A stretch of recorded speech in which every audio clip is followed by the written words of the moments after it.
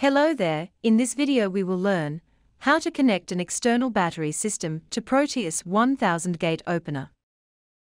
First locate the external battery module box and open it.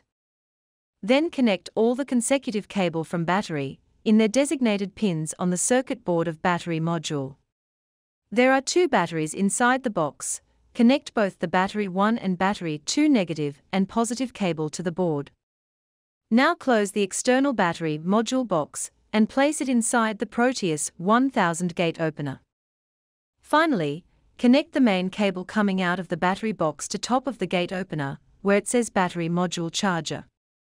If you find any character or digit displaying on the screen, that means connection has been successful.